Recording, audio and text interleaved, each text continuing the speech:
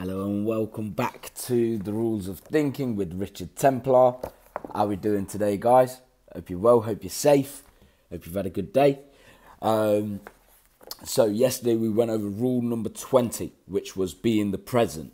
Okay. Life in the present is technically the only kind of like life there is in that moment. Do you get what I mean? In that moment of existence, in the present moment, like right this second, yeah. Everything that happened in the past, like that, that that's up here, yeah. That that's not my current environment now, and everything I'm imagining for the future, like that, that's not my current environment now. Do you know what I mean? So, I think living in the present as much as you can is a very empowering and freeing kind of feeling. So definitely try and live in the present as much as possible. Yeah? Enjoy your life. Live it. Make every second count. You're never going to get it again. yeah? Enjoy it. So, rule number 21 today stress is optional. I agree with this one.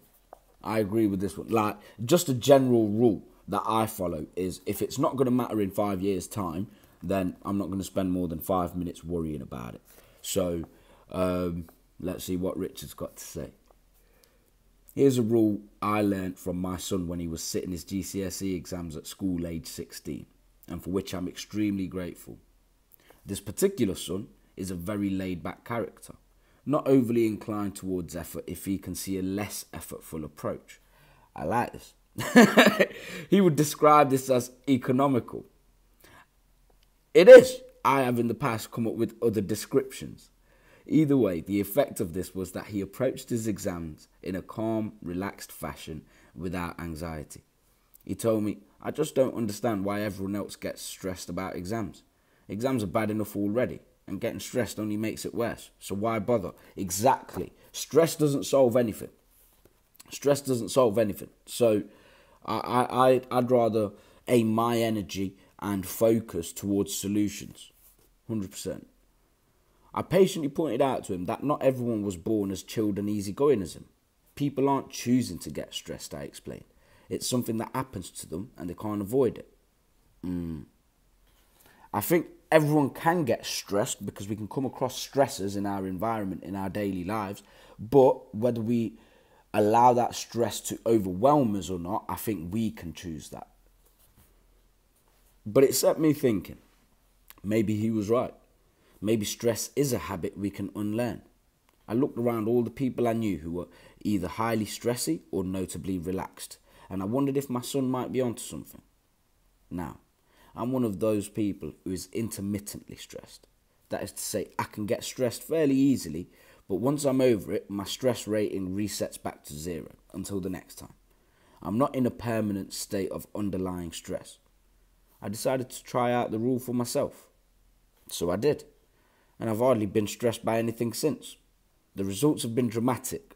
I discovered that whenever something frustrating or upset, upsetting or otherwise stress inducing happened, my brain just flipped into stress mode without waiting to be asked. Interesting to observe.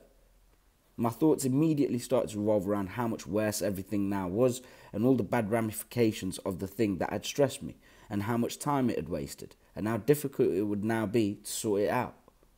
My brain was looking for reasons to feel stressed or to justify it.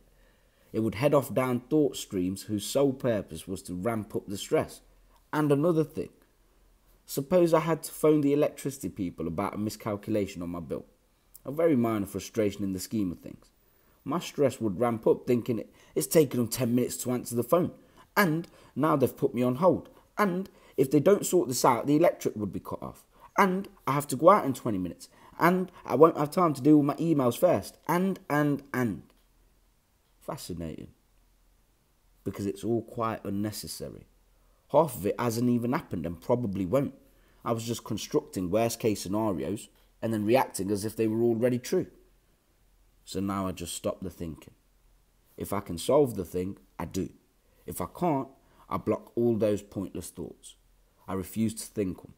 And I tell myself that life is bound to have glitches, and here's one right now. A bit like mindfulness, eh? Yes, Richard, go on then. no need to make it worse by getting stressed. I don't do stress anymore. I remind myself.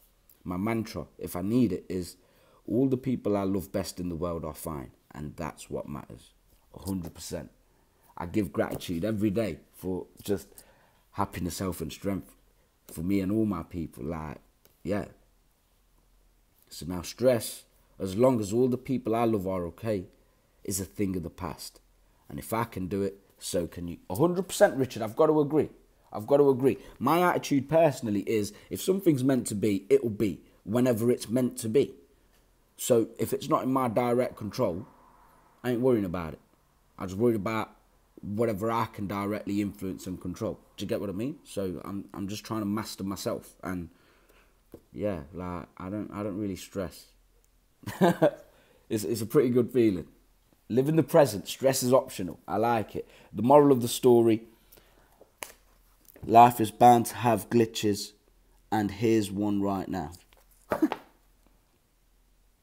Interesting. I like that one. So, let me know your thoughts. What do you think? What are your interpretations? Um, let's talk about it in the comments. Let's grow this thing. Share with anyone you think could find this useful, please. And um, I'll see you tomorrow for the next one. Cheers. Have a good one.